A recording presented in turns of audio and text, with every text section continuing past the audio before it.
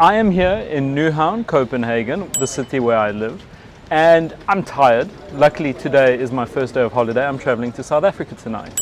So, what better way to start my holiday than contemplate the effects of altitude on pressure gauge readings? Here I have two identical pressure gauges and as we know pressure gauges indicate the pressure of something relative to atmospheric pressure. What happens when we take a pressure gauge which reads zero at sea level because basically all of Denmark is at sea level and we take it to a high elevation. I'm going to Johannesburg which is roughly 1.5 kilometers in elevation Actually, it's 1.75. And the expected pressure there is 85 kilopascals absolute. Actually, it's about 82. As opposed to the 100 kilopascals I'm experiencing right now. We've got two gauges, one that is sealed, one that is open. Let's see what happens.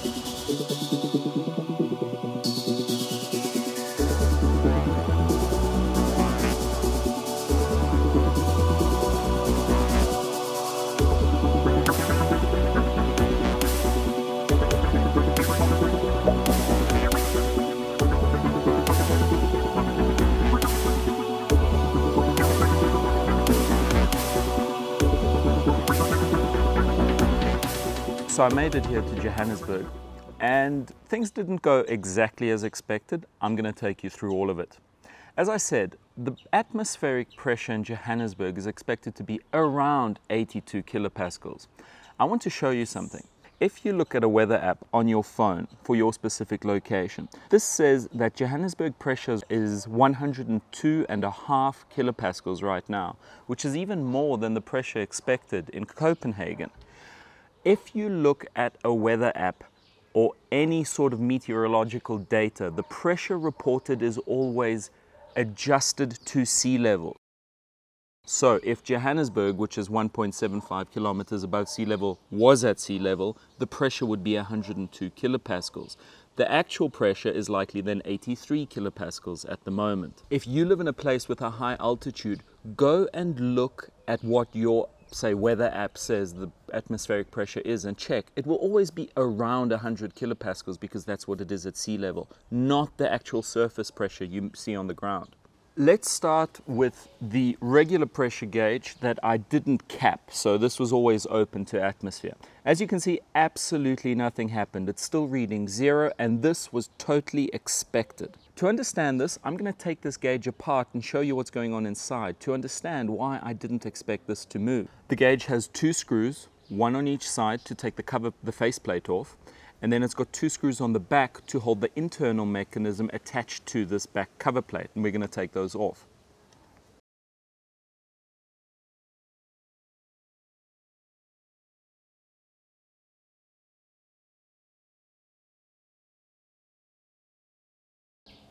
Here is what's known as the dial. This is just a thin piece of cardboard or aluminium or something with the numbers written on it. This is the pointer, which rests against a stop. And this red part you can set yourself to whatever your high pressure limit on your process is. So I can move it around to warn my operator that, okay, this is too high.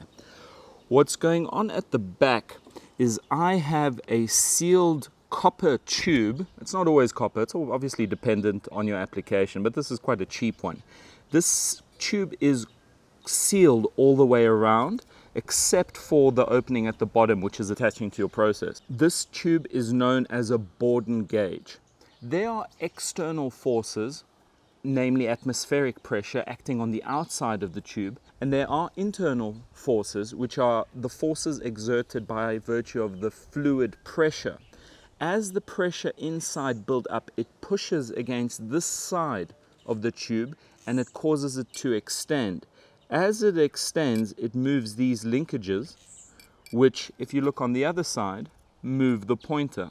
The reason I expect the uncapped pressure gauge to still be reading zero as altitude changes is because in Copenhagen, the forces were balanced internally and externally at 100 kilopascals, and in Johannesburg, those forces are balanced internally and externally at a completely different pressure. Because internal and external pressures are equal, I do not expect the Bourdon tube to deform, and so I do not expect the pointer to move from zero. So even when the gauge is completely assembled, you can see that it, this casing isn't actually tight. I've got a gap here between the threaded part and the casing itself, so I can always get whatever the atmospheric pressure is into the gauge and surrounding the mechanism. Now let's look at the gauge with the cap screwed on. Now I'm going to tell you that I've already removed the cap because, well, this is something that I did not expect. When I arrived, this gauge, just like my uncapped gauge was reading zero. What I was expecting is that I was trapping 101 kilopascals of Copenhagen air inside the Bourdon tube, sealing it, taking it and transporting it to Johannesburg and allowing that 82 kilopascals to surround the Bourdon tube with 100 inside, meaning inside the tube would be higher, it would deform, and I would read the difference between Johannesburg and Copenhagen. So 101 minus 82 or 83, I was expecting this to read 19 kilopascals. It didn't. I suspect it is because I didn't seal it properly and I was allowing that Copenhagen air, that higher pressure to escape. If you look at what I did, I put silicon around the outside of the cap. You may ask, why the hell did I do that? Well, I want to show you something. My initial plan was to simply take PTFE plumber's tape, which is typically used on screw fittings, and seal it without any sort of silicon. So this is what I did initially. And I took it, I screwed it on, and observe what happened. I'm not going to go all the way, but you can see by sticking PTFE tape on the thread and then compressing the cap over it, I'm not allowing any of the air to escape. And what I was actually doing is compressing the gas. In fact, I wasn't looking at the dial while I was tightening back in Copenhagen, and I actually got the dial to go completely over range and touch up against the other side of this rest. A pressure gauge does not like to be overextended past its measurable range measurable range because what happens is you end up deforming the tube. To avoid this, I took off the PTFE tape, screwed it on by hand because the clearance between the threads wasn't completely tight, the air escaped and I didn't compress to get a reading. Then I put silicone over the gap to try and seal it. So usually if you've overranged a gauge, you can't be 100% certain that it reads accurately. So I think a combination of overranging the gauge as well as not sealing it properly is the reason the gauge didn't move. As I said, I was expecting this to read the difference between Copenhagen and Johannesburg simply because I've supposedly trapped the air inside. Now here is something I didn't show you.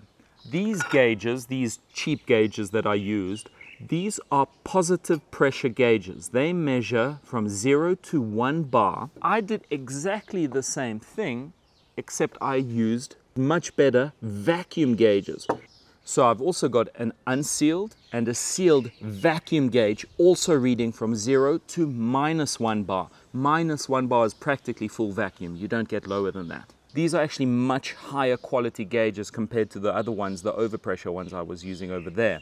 Let's start with the open one. You can see that I'm measuring an ever so slight vacuum of about minus 4 kilopascals. I was looking at this yesterday and it was minus 8 kilopascals and when I arrived I think it was about minus 15. It actually read what I was expecting as I arrived. Let's use what we learned from the positive pressure gauge on here. But before we do that I want you to notice something. This gauge is liquid filled. It's usually some sort of silicon oil that's used to lubricate the internals so that you protect them from vibrations so that they don't wear and that extends the life of a gauge. So that's particularly helpful if your gauge is sitting on a pipeline that's constantly vibrating, say on the discharge of a piece of rotating equipment. Because the gauge is liquid filled, the manufacturer has to seal the casing of the pressure gauge so that that liquid doesn't completely come out.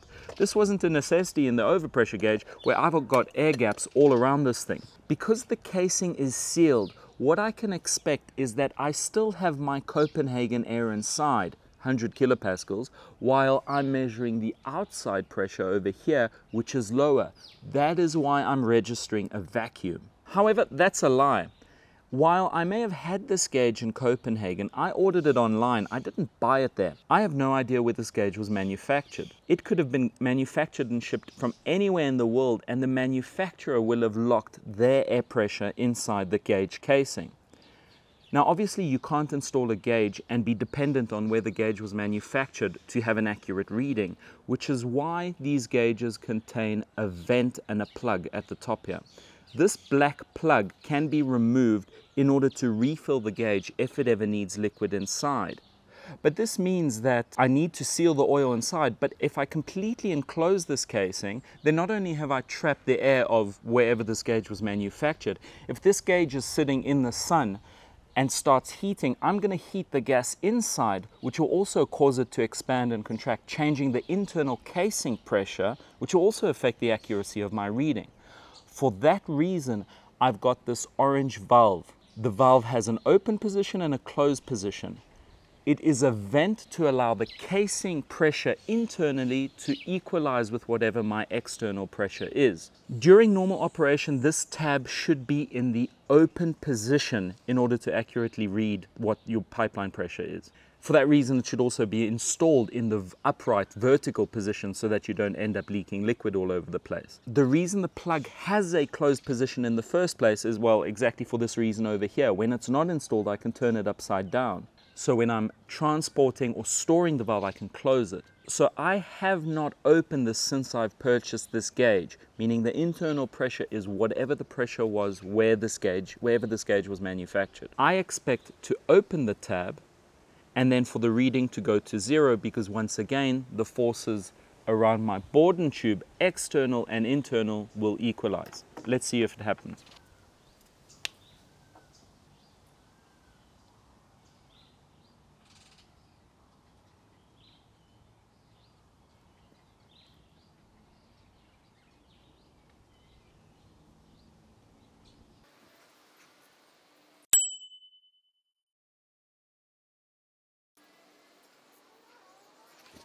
It's worth mentioning that these vent plugs are only a feature on gauges with extremely small ranges. I'm talking about in the range of a couple of bar, maybe, I don't actually know what the manufacturers do, call it two, three, four bar, I don't know.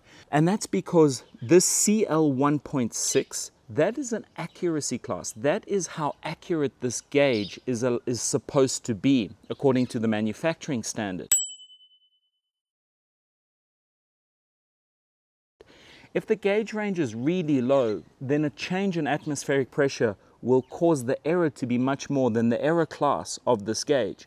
But even for the same error class, if I have a gauge that measures 100 bar, then it doesn't really matter if the atmospheric pressure changes 10 kPa. Then you won't see a vent plug like this. Go and look around your plant to see whether you've got gauges installed like this. Check whether they've got a cap on top and see whether this is in the open position.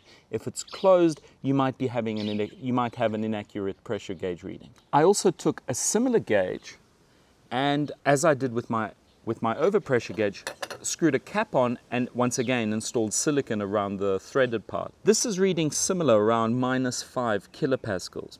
What I was expecting to happen is for me to trap Copenhagen air in the casing, Copenhagen air inside the tube, and for this reading not to move. But upon, but it did move. It did go to some sort of negative pressure. The other thing to note is that if I have this sort of setup, the volumes of air are so small that I've trapped, trapped inside that they are extremely sensitive to temperature. Here you can see I took this exact gauge before opening the silicon last night. I put it in a fridge and I got the reading to be zero. I transferred the gauge into hot water and you can see that after spending some time in hot water, the pressure reading goes down to minus 20 kilopascals. So this setup is completely temperature dependent and I wasn't expecting it to be that sensitive. So I can't really conclude anything about here. So that's the answer. Does altitude affect pressure gauge readings?